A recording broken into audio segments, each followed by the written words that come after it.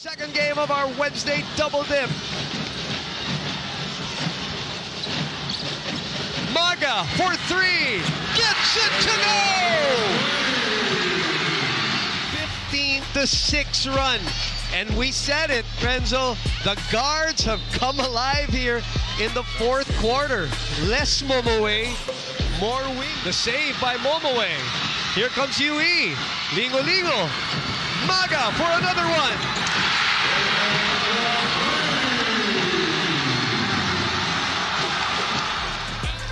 No, you talked about earlier, just a while ago, you said as we look at this sequence, bro, Ateneo, a lot of them young.